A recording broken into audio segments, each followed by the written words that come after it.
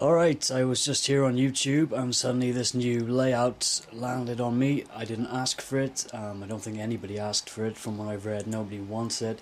Uh, they're calling it Cosmic Panda, it's a cosmic waste of time. This is going ahead whether you like it or not.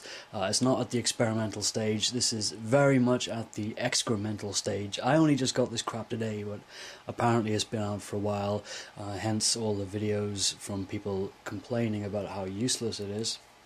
It does look a mess. I haven't played with it much, but it looks a right mess.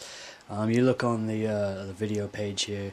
It seems all you know designed to shit on the little man and drive views up towards the big videos, the Justin Bieber and Lady Gaga, which is no coincidence at all because uh, advertisers pay the biggest money to have their adverts on stuff, the same with gullible young kids, which is weird because they don't have access to a bank account. They can't order anything online. The only way they can get anything on those adverts is by asking their parents. So, all you parents out there, if you want to see the end of Justin Bieber and Lady Gaga, all you have to do is say no to your spoilt little kids once in a while.